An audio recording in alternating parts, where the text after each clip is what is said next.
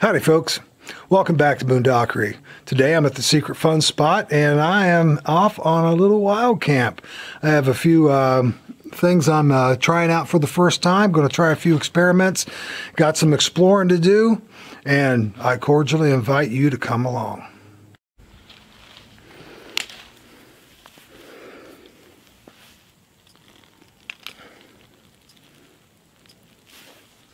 That's sweat.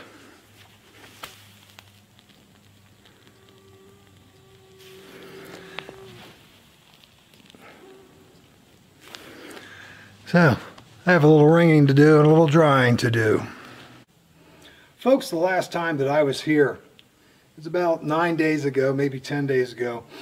And when I left the area, I had configured my MOLLE load pack panel in a particular configuration. I just wanted to try it out.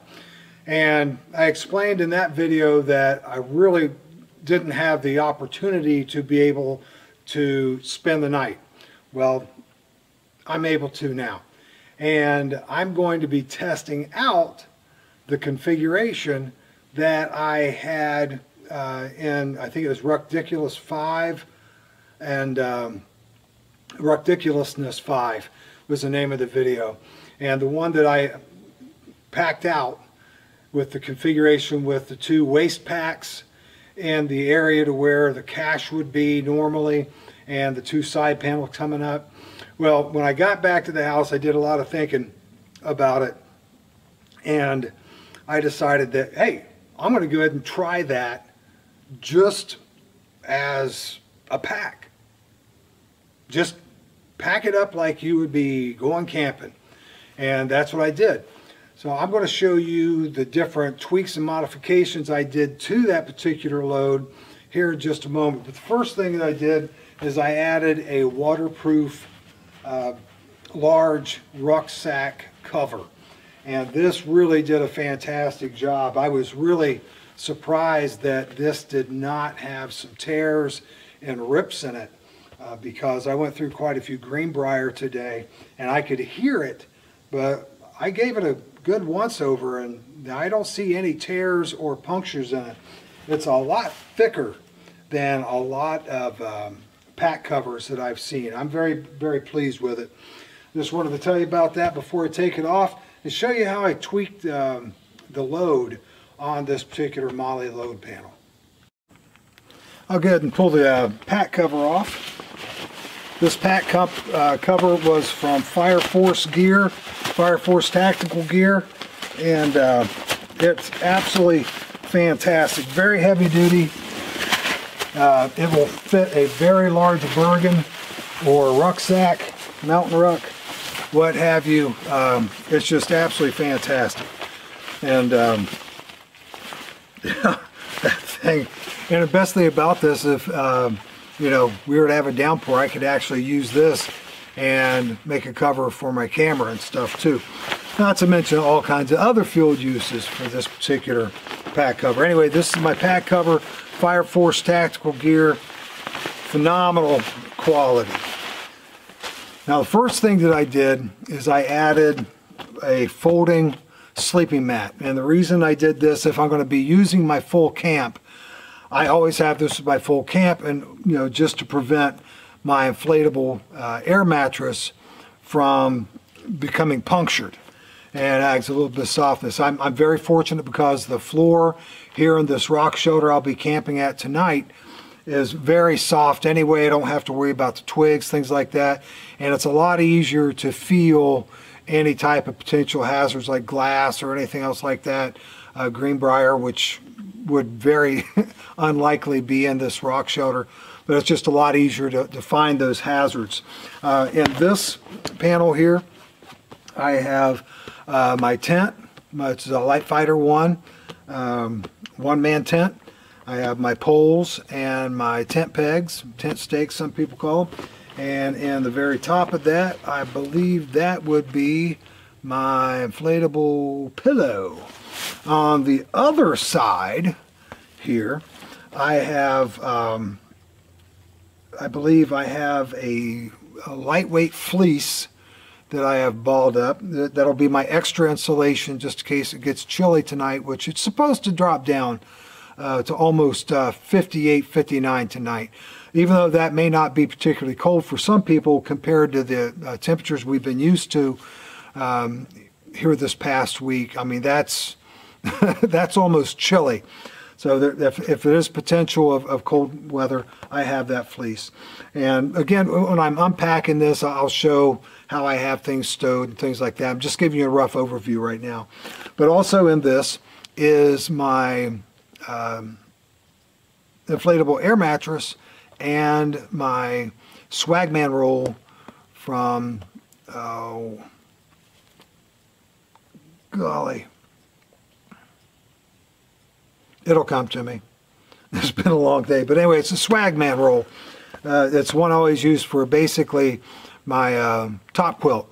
And um, I would use it as a sleeping bag. However, it's a little snug uh, for uh, someone of my portly stature uh, to use comfortably as a sleeping bag. But that's Helikon, Helikon Tex uh, Swagman roll. however, I could not find a way to get my inflatable air mattress and my Swagman roll in this to where it would fit separately, let alone have uh, room for my lightweight fleece. So what I did is I went ahead and rolled up my Swagman roll and myself, my inflatable air mattress together, put it in here with, left me about this much space at the top which was just about perfect for that lightweight fleece. Uh, and this uh, removable waist pouch here, that is everything that I would normally have in my bushcraft patrol rig.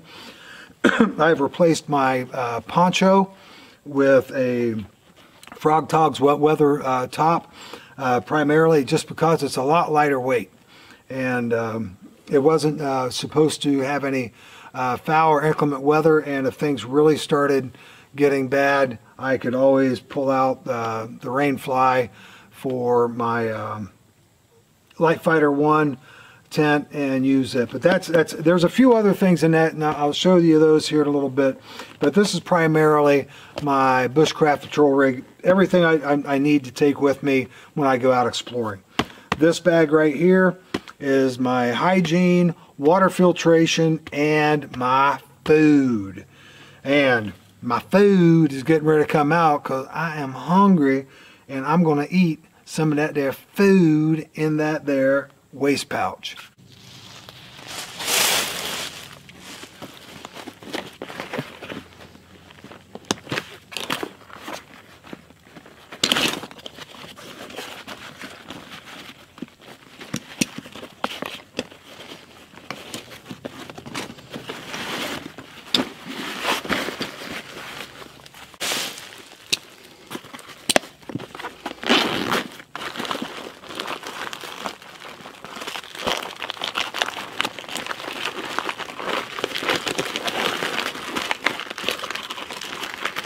Mm -mm. Well, let's see. That's beef ravioli. I think I'll save that for supper. And what we have here is, let's see if I can see this real well.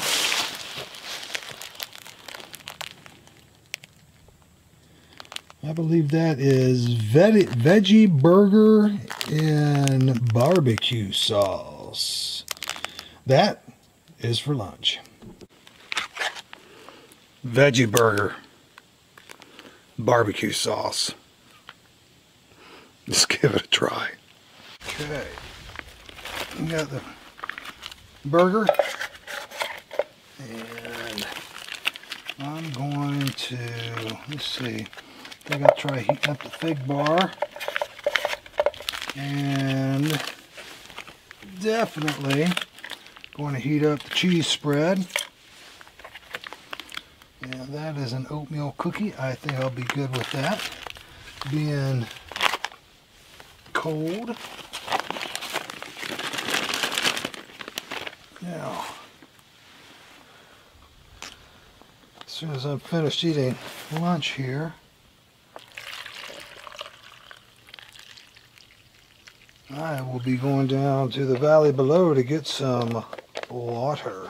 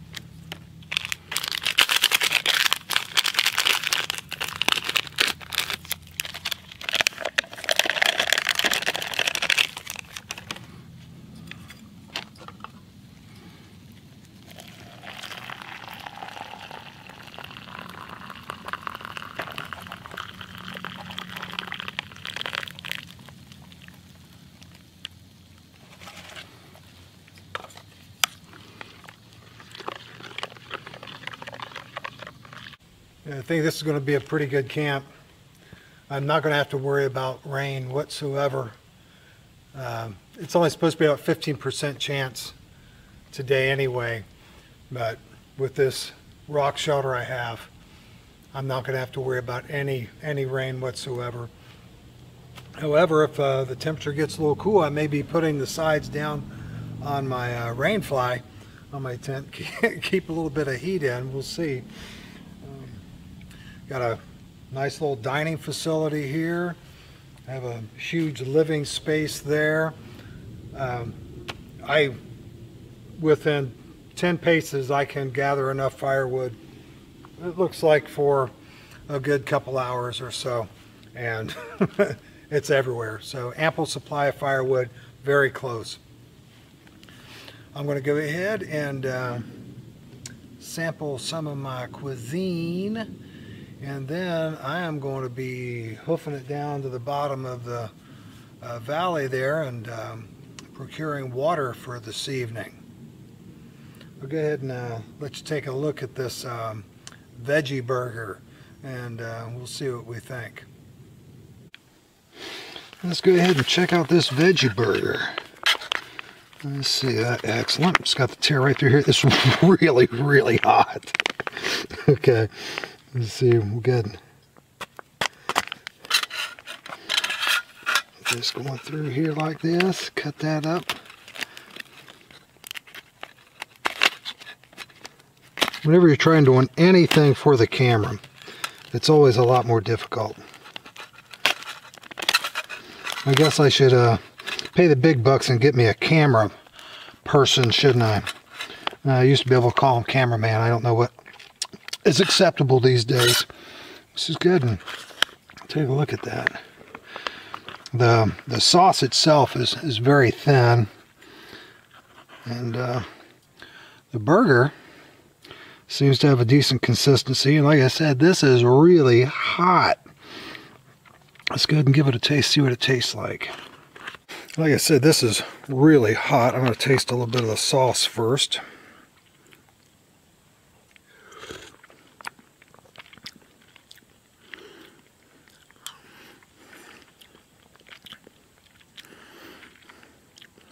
It's not bad. Um, definitely doesn't taste like your traditional barbecue sauce, but um, it's sort of got a little little smokiness in there, kind of like that. Mm. Don't know if I'd go out to the store and buy it if it were in bottles, but it's not bad. Let's go ahead and taste the patty here. As I said, this is really hot. Try to take a bite of it before I burn my fingies.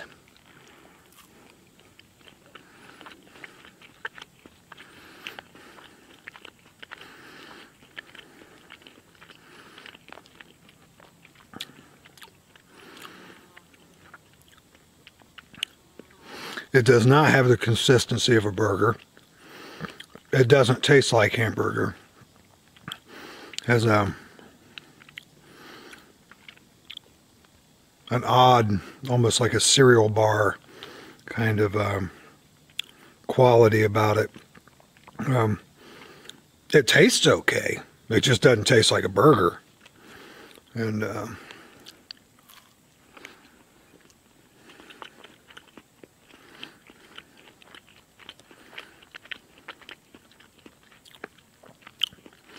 I can definitely tell it's going to be filling. I'm going to go ahead and uh, break this up and sort of swash it around there in the barbecue sauce because it's just a little bit on the dry side. And uh, let you know how it goes. Well, chunking it up and mixing it with the barbecue sauce definitely imp improves the um, experience of eating this. It's really odd. Let's see if you can see this. Get a focus on there.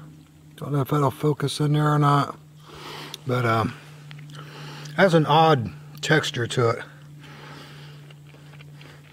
Almost reminds me of um,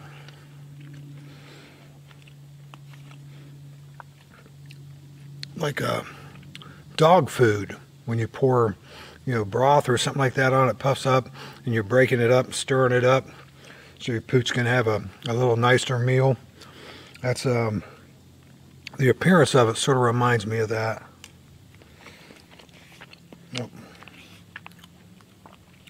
This is another one of the uh, vegan uh, MREs that my, my brother uh, Jay Neighbors uh, gave me The last one I had was um, pork rib imitation.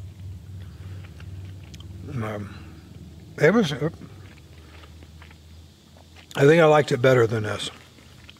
This is just uh, the texture's very very different from the the pork, and um, the sauce of this is a little different. It's a little different.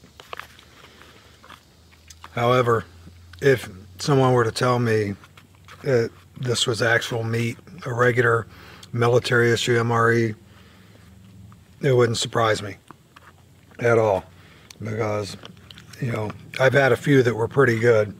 Like uh, tonight's MRE is going to be uh, beef ravioli. I actually like it pretty well. But I've had some real humdingers of MREs in the past and they were you know, quite awful. And um, I'm not saying this is awful. This is this is okay. This is okay. Uh, I've definitely had much worse that where it was not vegan, and uh, yeah, definitely is going to provide calories and uh, fill my gullet. Hmm? Bon appetit. I ate half my MRE half, um, well, full cup of coffee. That's actually two packages of coffee in there. And I got sleepy.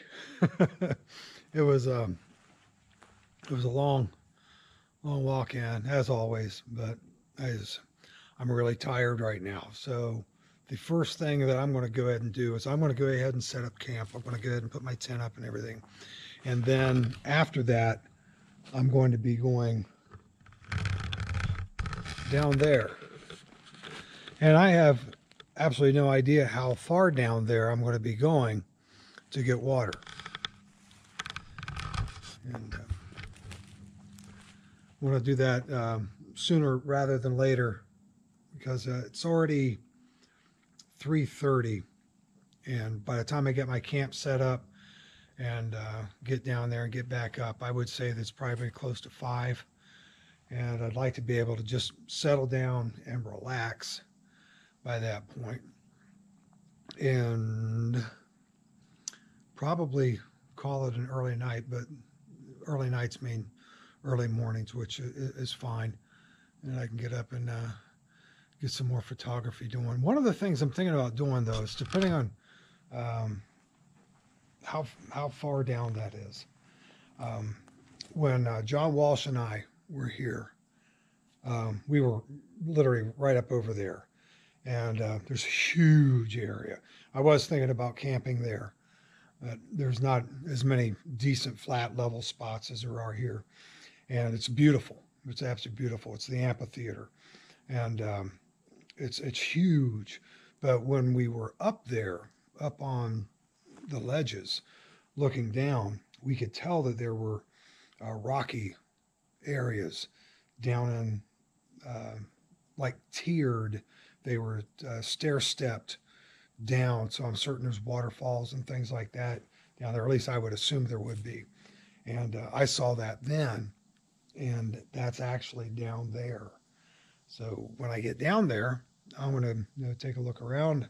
Hopefully, uh, I'll wake up a little bit and um, I can get up inside there and see what I can see. And uh, if not, you know, I can try it again tomorrow. But that's just what's going to happen right now. Let me go and show you the camp.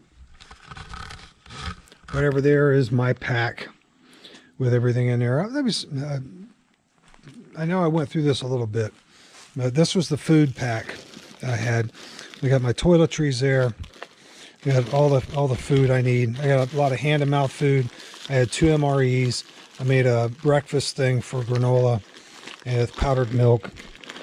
And so all that's good to go. And I've got my uh, four liter hydration bladder, which I'm going to be taking down to the bottom of the hill with me right there.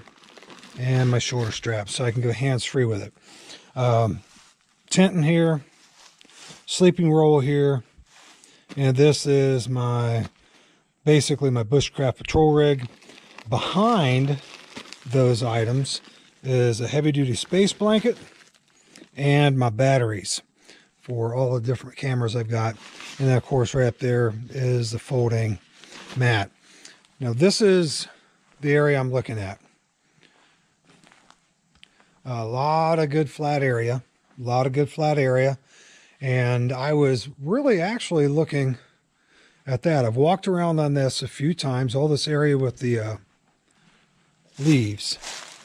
I'm not feeling any sticks. Oh, but there's one. But um, I'm going to walk through and see if there's any deadfall or anything else they've got in here. And if, yeah, it's it's it feels pretty good. Um, I could go ahead and smooth those out a little bit. That'll provide me a little insulation from the sand. And I don't know if you've ever done any camping on sand or not. Um, sand gets cold quick. It doesn't retain heat as long as rock does. And um, it'll suck the heat right out of you. And it's, it's not a pleasant night's sleep. However, as you can see, there's a lot of sand. And if I were to be camping on the sand, there's a couple things that I look for. First of all, you see those? Those are antlion traps. They dig those um, to catch ants. So that tells you that there are ants. The other thing I'm looking for are ant hills. Ant hills.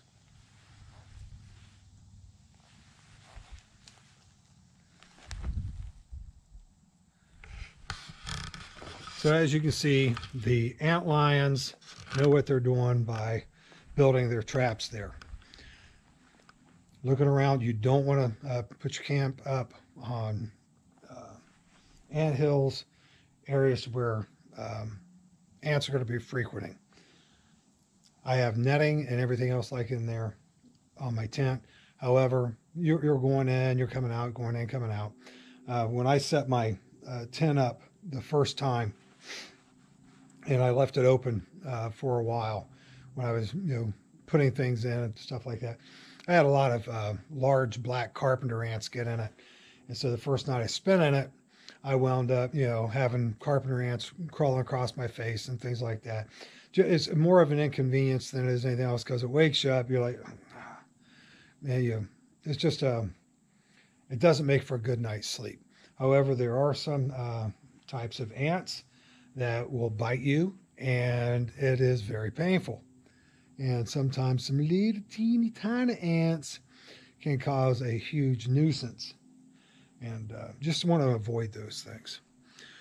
Normally, I like to be able to camp close to a water supply. When I was hiking in, I noticed uh, a lot of the water supplies that was up on the ridge, uh, the, the streams that are fed by springs, they are dry. And um, we were supposed to get rain every single night this past week. That did not transpire. And um, so it's a little dry right now. That is why I'm going to have to go all the way down to the valley to get my water. That being said, I need to set my camp up and do that as fast as I can so I can get down to the bottom of the hill, get my water and get back up here in a reasonable amount of time. And if I can get down there fast enough, get my water fast enough, I feel good enough, I'll go ahead and do a little exploring when I'm down there.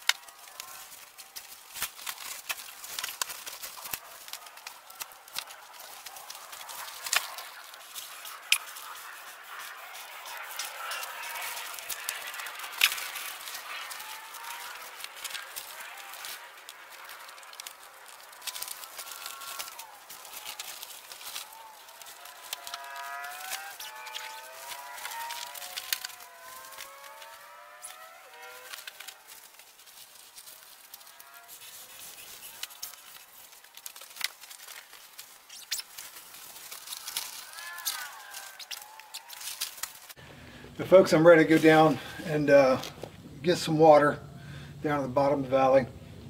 Got my GoPro with me, work gloves, empty four liter bladder.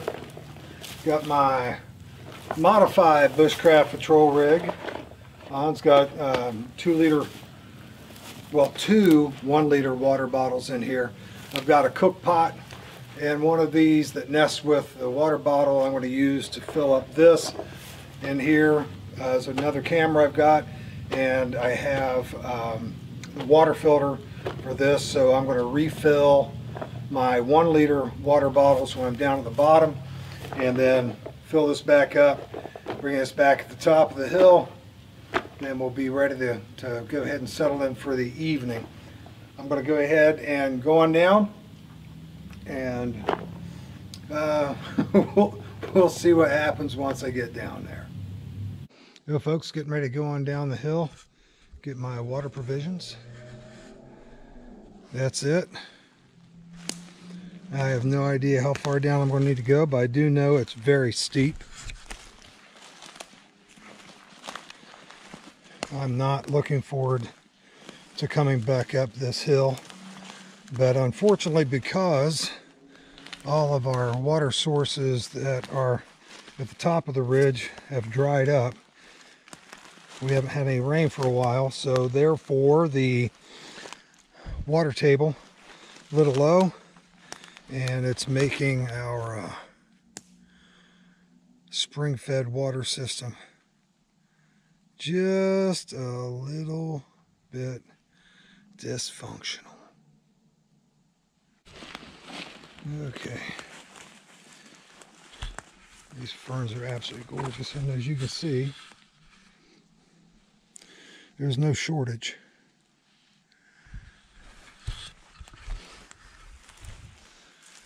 I'll turn you around here in just a second. Just want to, wow. a lot of deadfalls, but it's good. A lot of firewood for me. A lot of firewood. I don't know what degree of angle this hill is, but it is quite, quite steep. Okay, I want to try to hold this as close to level as I can. That is the deadfall. That's not quite as steep of an angle as the hill. Uh, okay, here we go.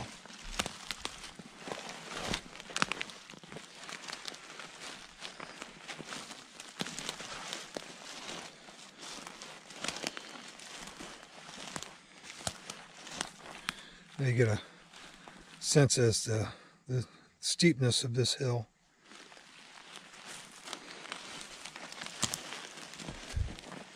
And it looks like that is going to be a cliff or a drop off already. So I might need to reroute around as it is. Let's see what we got here. See if this is a drop off.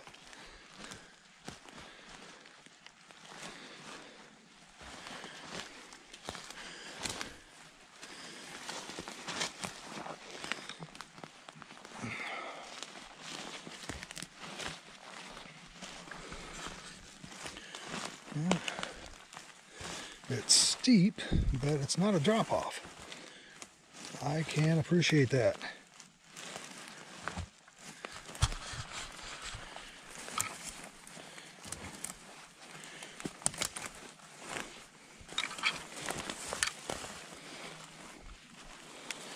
Well, it looks like there's some stagnant water there.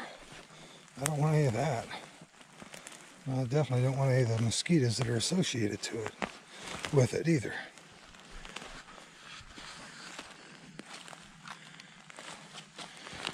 See a game trail.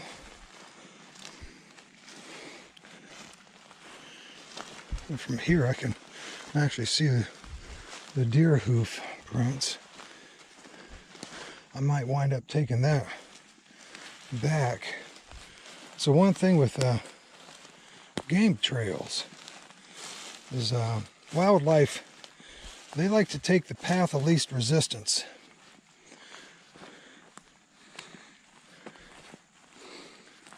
Even though some of the game trails you may follow may seem a little extreme, they actually are probably one of the better ones routes you can take. You have to keep in mind that the game that travel them are quadrupeds and a lot of the things that bother us as far as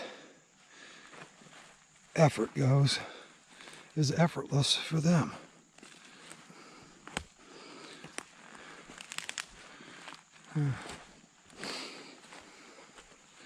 I can definitely feel the humidity change coming down here. It's so much moisture down here. I'm very, very glad I'm camping at the top. But that right there, that would not be a bad spot to camp. That's very nice and level. It's got a little bit of coverage. That right there behind that rock is nice and flat too. Gives you a little bit of security.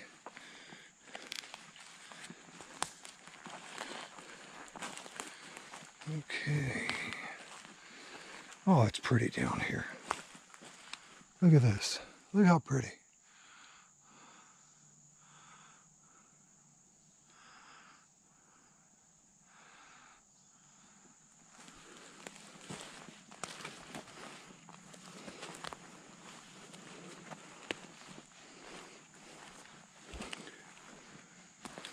Yeah, this is the area that, oh wow, look at that. That's cool. Yeah, this is the area down here that I saw from up on the, the ledge of what I call the amphitheater.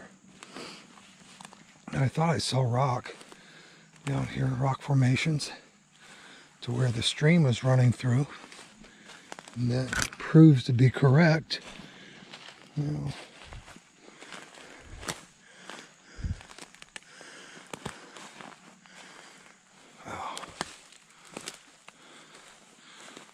It's quite beautiful.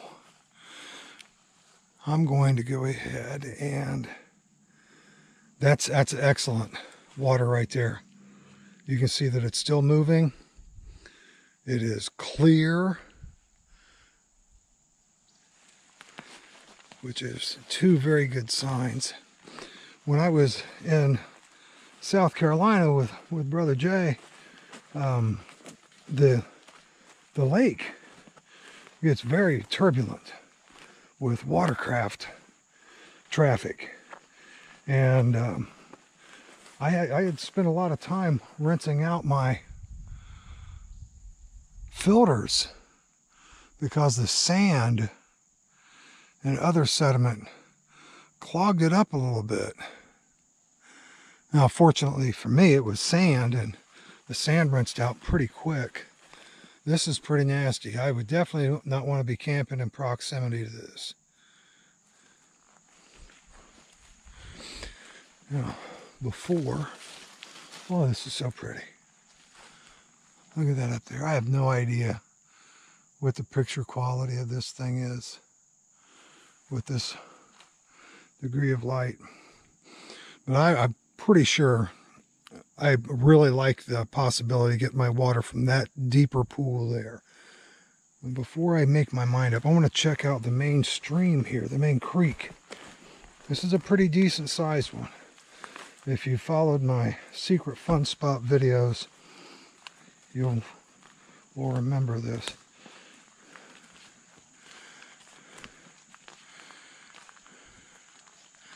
Now, scramble up this hill. Oh.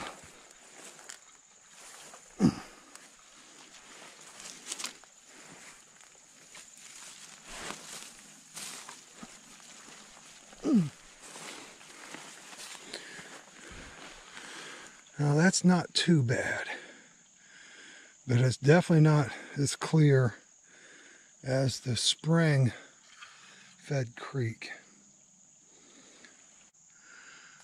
I'm going to go ahead and come back around and uh, perhaps where there's normally a waterfall there might be a nice deep rounded pool that'll be easy to get my cook pot into.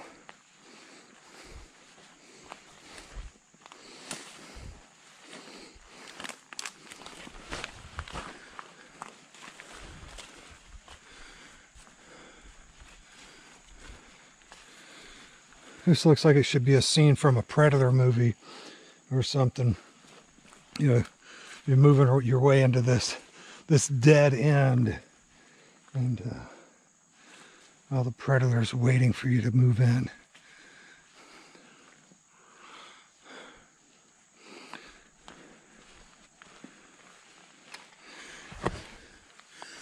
It's amazing how dark it is.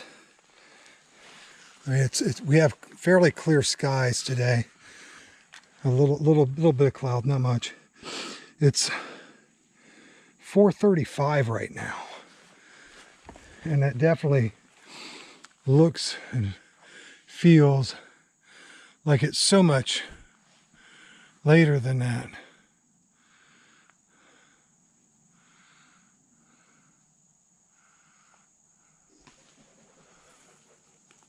I have no idea what that was. I don't think it was a predator. But it was large.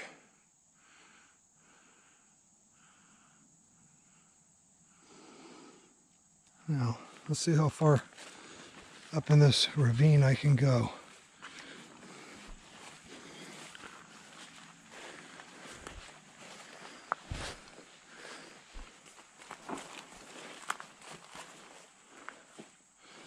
Yeah, there's some iron in this water. Not nearly as bad as some places I've been. Wow, this is cool. I sure hope you can see this. Now in the winter, as long as the water wasn't too tall, or too tall, duh, too deep. I have no idea if you can see any of this or not. And I do not have, oh, wait a minute. I think I do. Oh, wait a minute though. Look at this. All this is brand new to me. I've never seen any of this before. Look at this. This is just absolutely breathtaking. Now, one of you smart cookies out there that are watching this know what that green vegetation is there. I cannot recall the name of it. However, I do know that that is a surviving prehistoric um, plant life. I mean, it's been around since um, the times of the dinosaur. This is absolutely excellent water because we have life, life, life And the water. That's always a good sign. You get up here and find a dead horse, that's that's what you call a bad sign. Bad sign. Wow.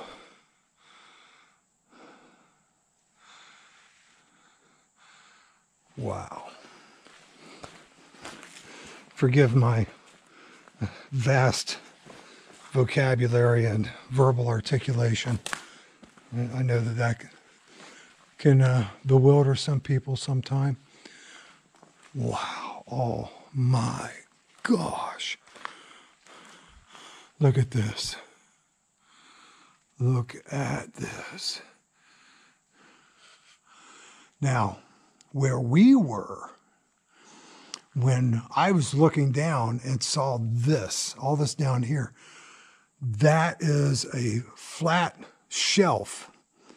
And then it goes back at a, a, steep angle, and then it goes up to the cliff face and goes up at least another 75 to 100 yards to the top of the edge of the cliff. And that's where the amphitheater and the, and the, the shelf or the the uh, terrace we were standing on is so all this this is like almost halfway down from the top um, from where we were when John and I were looking at this stuff. This is absolutely amazing. You know, I'm not really seeing a great water spot just yet.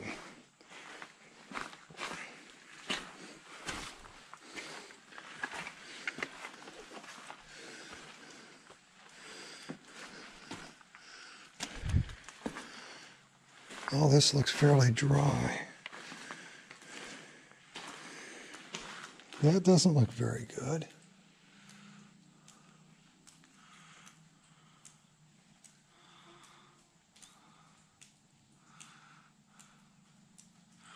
Okay, way up there, you can see the overhang to what I call the amphitheater. So that is up there. I mean, it's up there.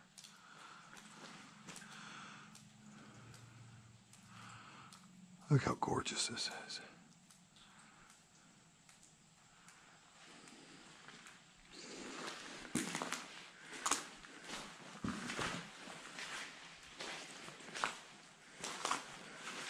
And that is what I would call a dead end.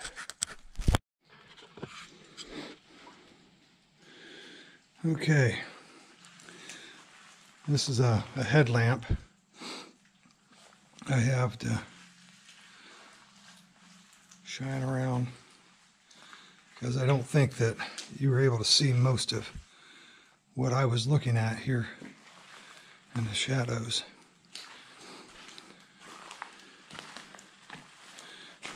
Now, keep in mind, this is a still only about, I think it's 440 right now. It's only 440. And uh, it's fairly dark in these little nooks and crannies. I would love to be able to climb up in through there, especially that, that one up there. That looks like a pretty decent cave.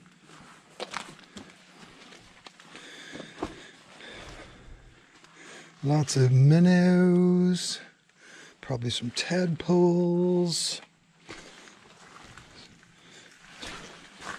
So the water is definitely clean enough for life.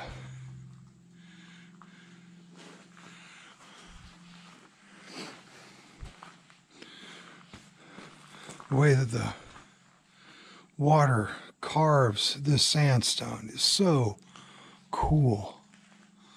This is absolutely amazing. There's a shelf right up there. I bet there's some way to get around to that back through this back way, but wow.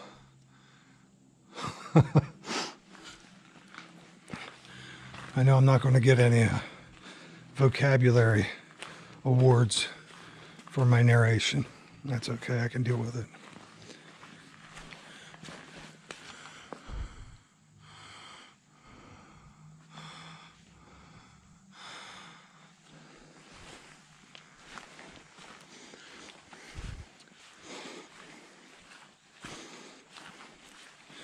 This wasn't exactly what I thought it was going to be, but it's still very, very, very cool.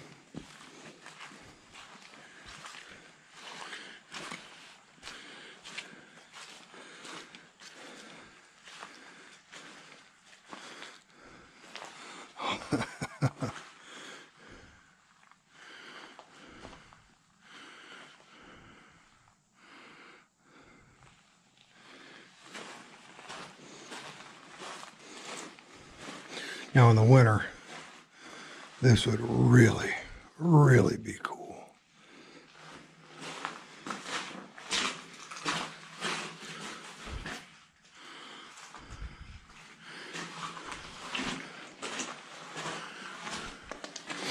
Yeah, this would be campable in the winter. No bugs. Wow. There is some serious animal traffic through here. Very serious.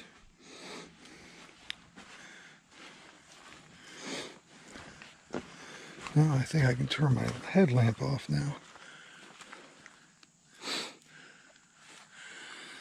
Okay.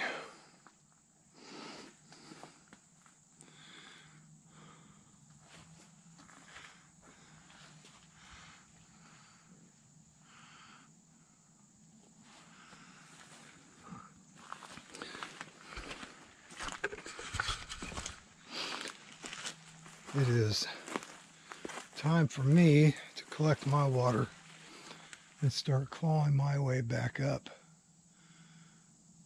to the ridge to my camp. Just one last look.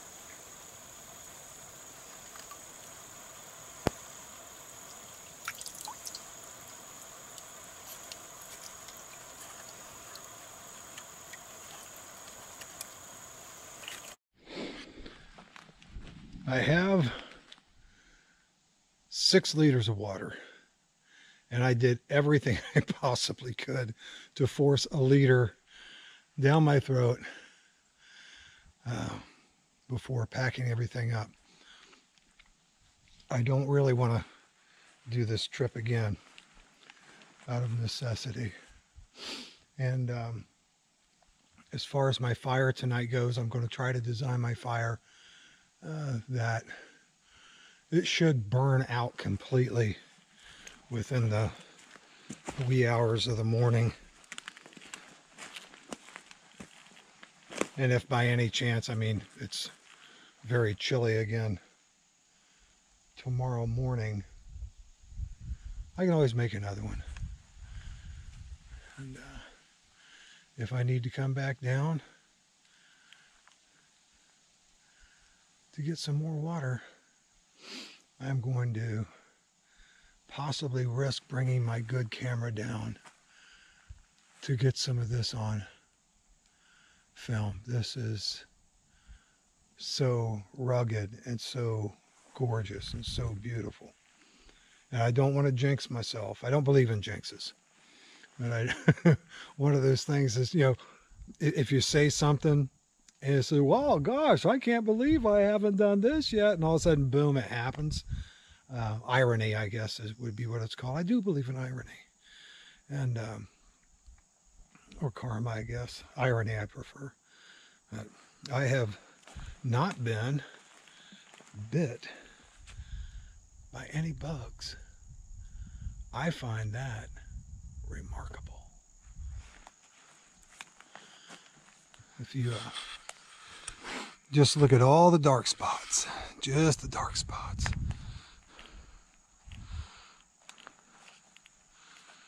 Let's say maybe, especially that one right up there. That one looks like it goes back pretty deep.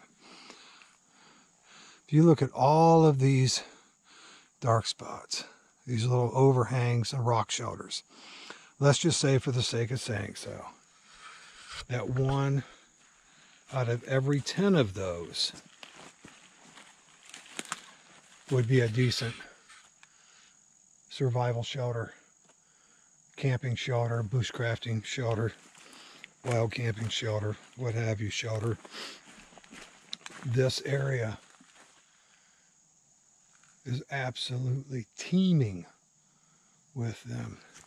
Now, let me tell you a plan I've got. And um, one of the things that I'm trying today and it will be overnight, is that I have parked at the one spot I really wasn't crazy about parking overnight. I, I cleaned everything out of my vehicle, so there's absolutely nothing important in it that can be stolen. I have full coverage on my vehicle, and I decided to, to just wing it. And uh, my vehicle will be uh, where I normally park overnight. And uh, if it, everything goes well, I'm going to keep doing it because this area is just too awesome to ignore and to not constantly return to. And as the seasons change, so does it. And I'm looking very much forward to experiencing all the seasons in my secret fun spot. Now, all this creek through here, this is a cliff face. And a good long ways down there.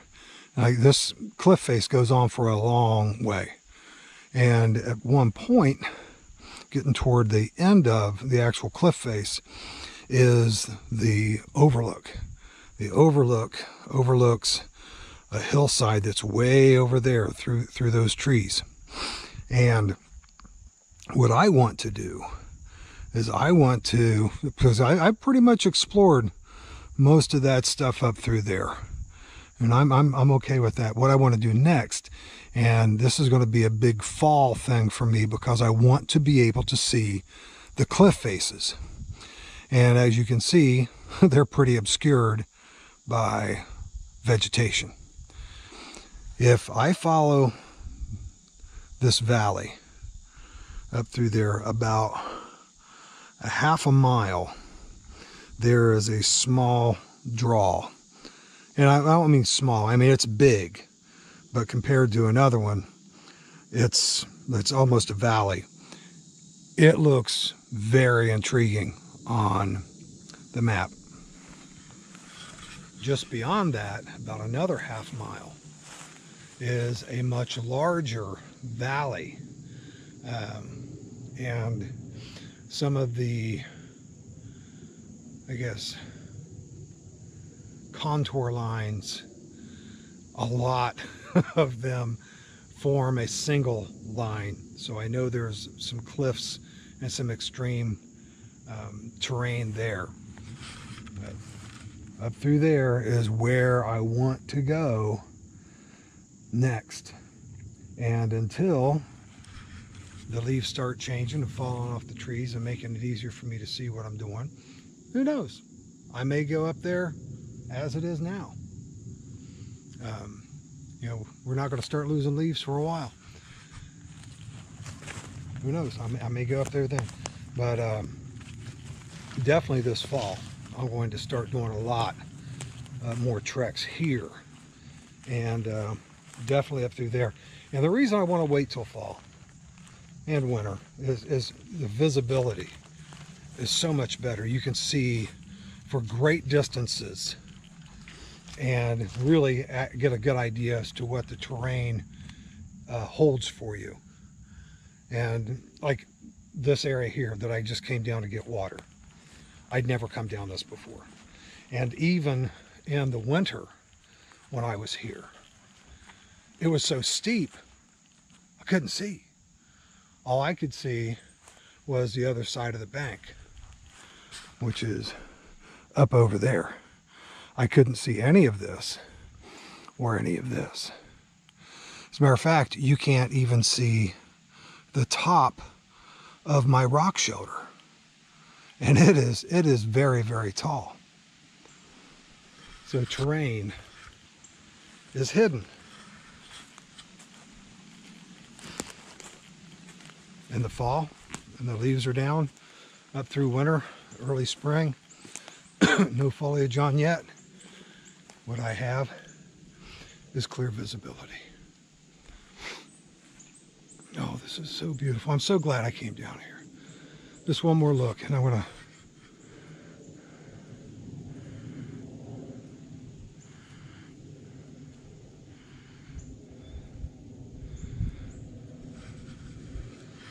I'm to go ahead and turn this down, turn this off for now, and uh, see if I can uh, relocate that game trail and see how that goes going on up.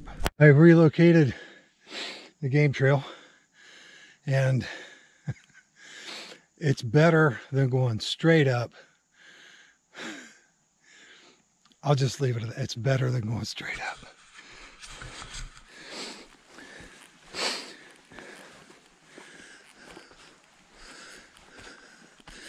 You get a, an appreciation for the steepness.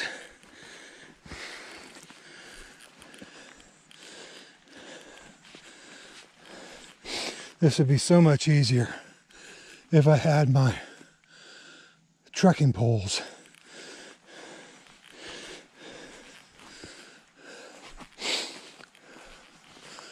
Oh yeah, lots, lots easier. That's okay.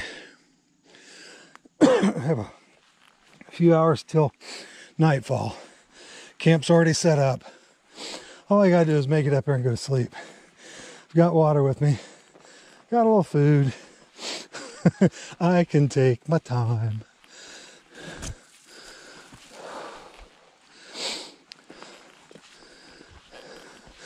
Oh, just some quick stats. Wow. I'm making my way upward, my new bushcraft patrol rig, which is basically a pistol belt with an accessory pouch and two water bottle pouches, is 13 pounds. That's with my pistol loaded and I loaded 17 round magazine. Also, my waist pouch that has the contents of my old bushcraft patrol rig. Um, it weighs, oh golly, I'm thinking it was about 11 pounds. And my pack and my bushcraft patrol rig all combined weighs 43 pounds. And that was without the four liter bladder being full. Okay. That uh, hemlock tree that's up there almost looks like ribs, ribs from the rib cage. Okay.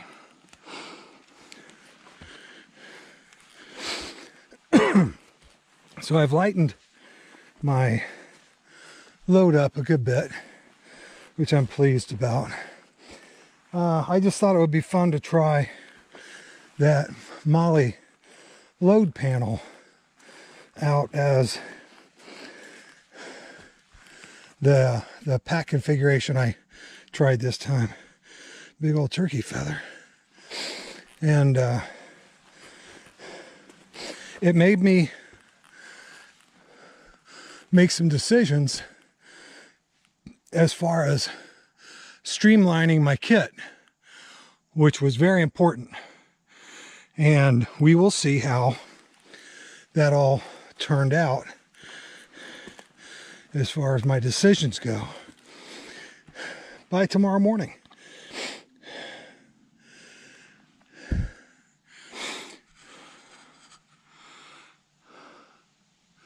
If all goes well, I will sleep warm and sound. And I'm sorry to do the spider, but we're going to need to take you down wrap you around there. Okay. I am sorry. At least you're right back where you were. You're not stuck to my face. Nobody wants to be that.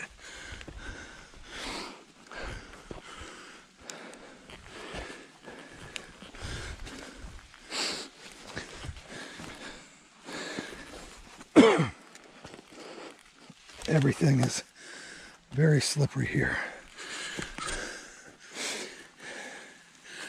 Every week, well, excuse me, every day for the past two weeks, our humidity in evenings has been 100%.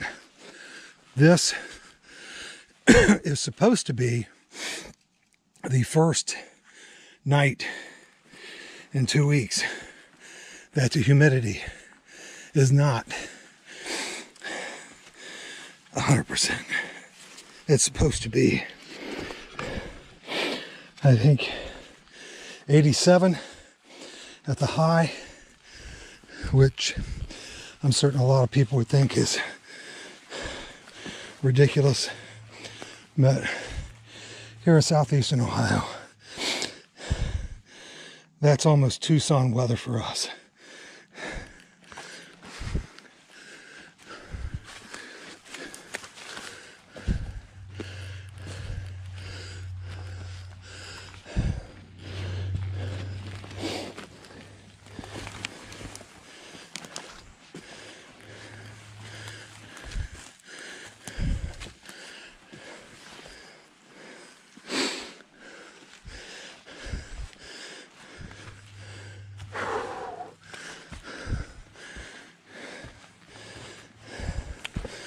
Too far from camp now.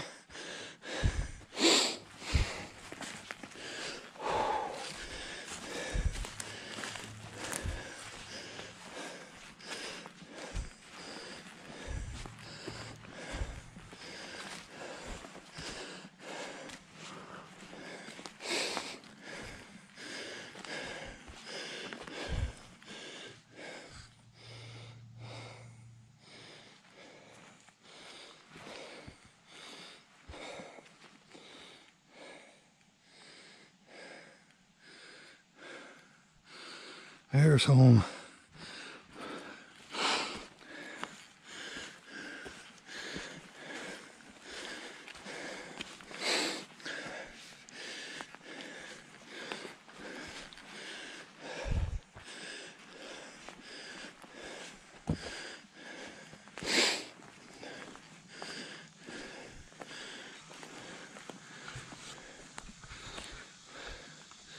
Well, folks, I'm going to take all this stuff off and probably wring my shirt out again and cool down, try, try to cool down a little bit, uh, rest a few minutes, and I'll see what else I can get into.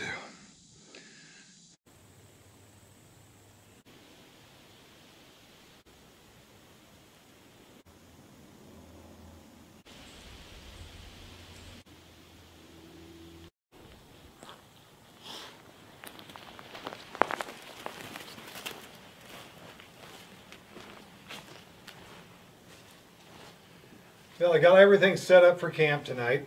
I have a fire ring, I have uh, tinder, uh, fuel, everything I need, uh, kindling. It's got some larger stuff. Cleared all the leaves back away from the fire pit. Packs there ready for me to access it whenever I need it.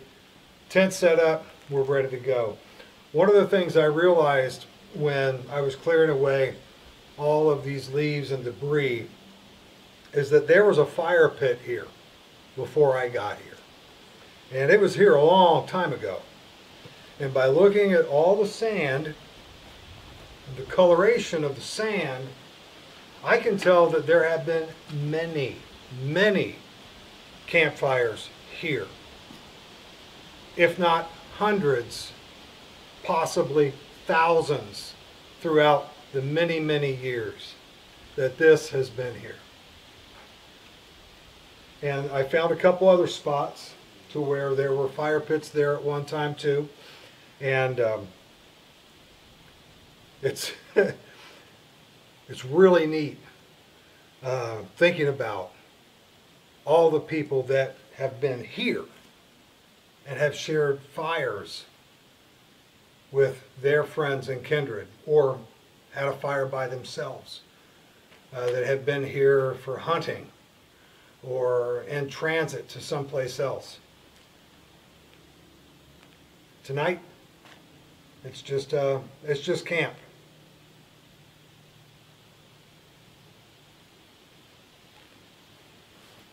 Camp with history.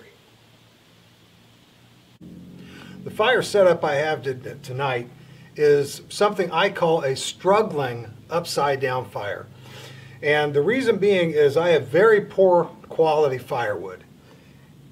I'll explain that in a second. A struggling upside down fire struggles because I put multiple layers of firewood on top of each other, all going the same direction. Normally what I do is I have good quality firewood that I cut you know, all around where the camp is.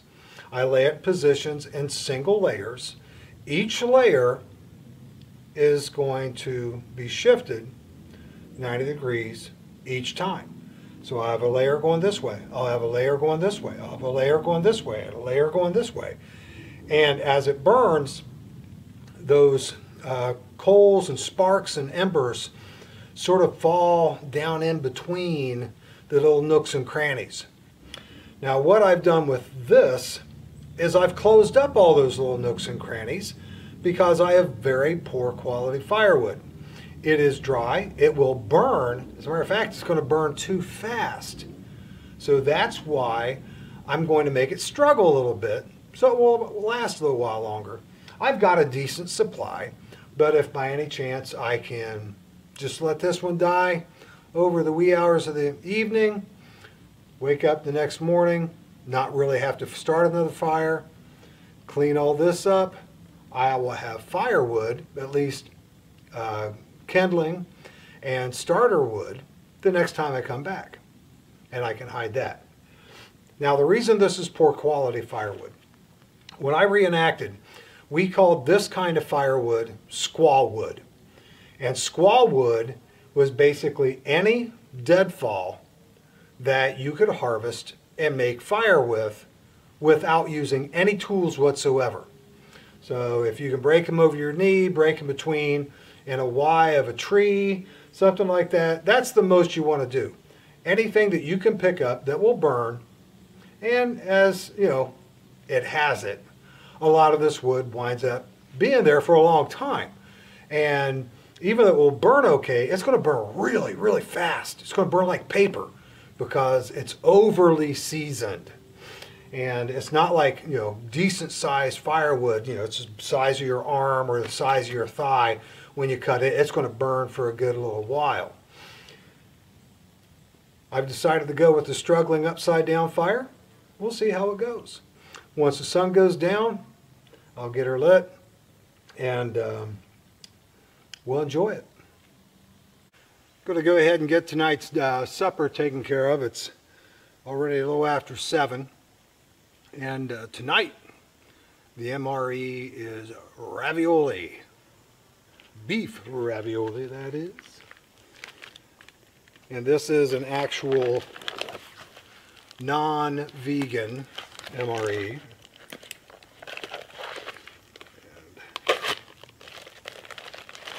I, of course, uh, field stripped it and re-vacuum sealed it. And as always, the heaters rarely ever work for me. I'm going to use boiling water. I'm going to put the cheese in there as well. There's one other thing I was looking at. It was the toffee cookies. I don't know if they'll fit in there or not though. Oh, well, that's the only thing we'll put in there. Get an Esbit tab.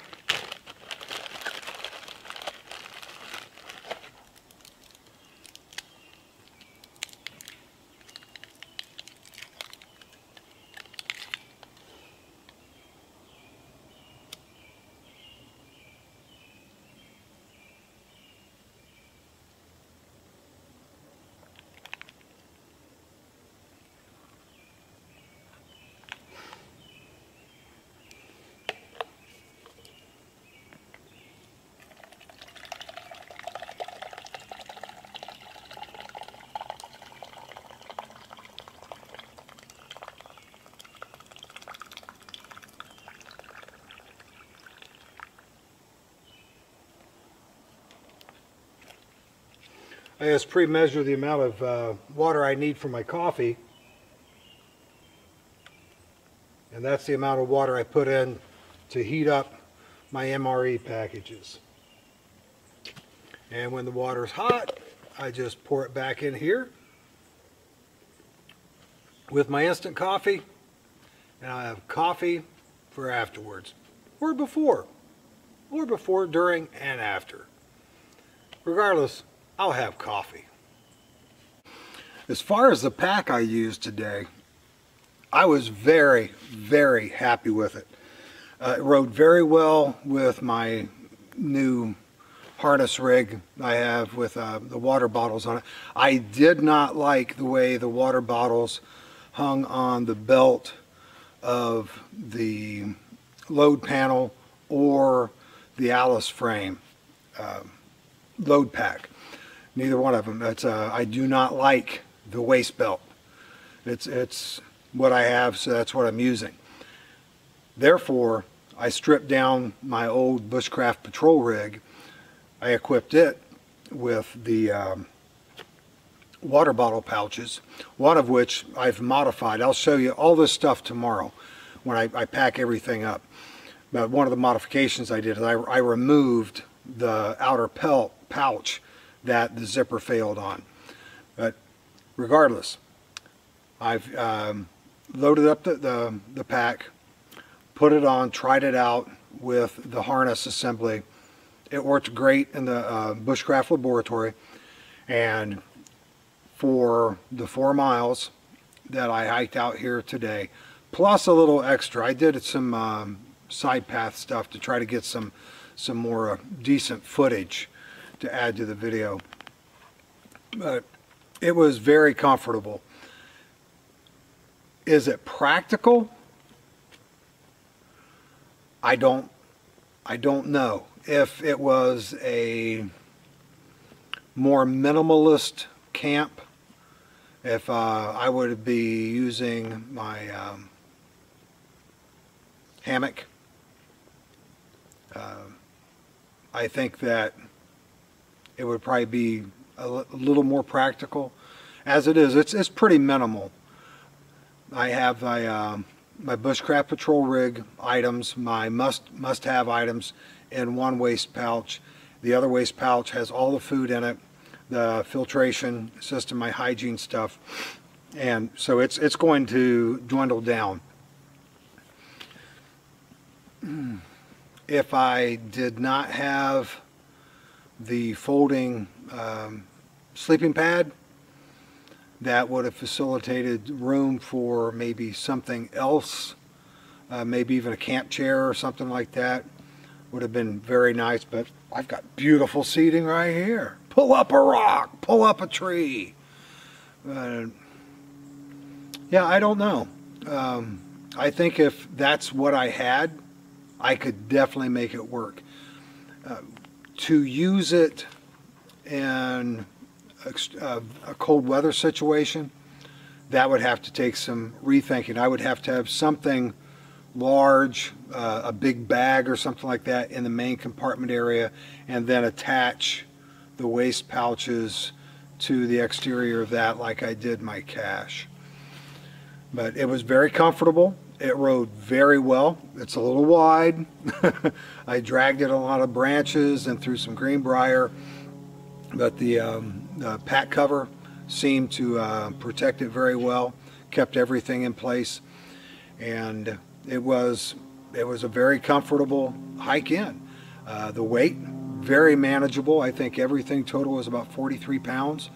Um, you know, yeah, very very manageable and uh, very comfortable. And, uh, tomorrow, uh, when I'm packing things up, I'll show you how I pack things up, where I'm putting things, and things like that. So you, you can see how I'm maximizing or trying to maximize my economy of space with the pouches and um, the room that I have on the load panel.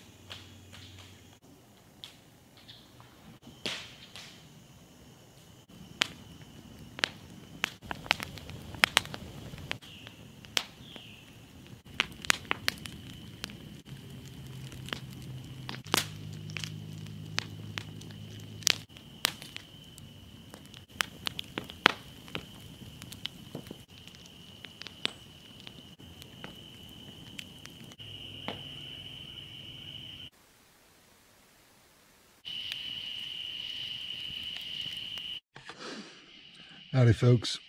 Getting ready to turn in a little after nine. It's warm, but not too bad. I really hope the, the temperature drops and uh, gets fairly cool. Just be a, a lot more comfortable night's sleep.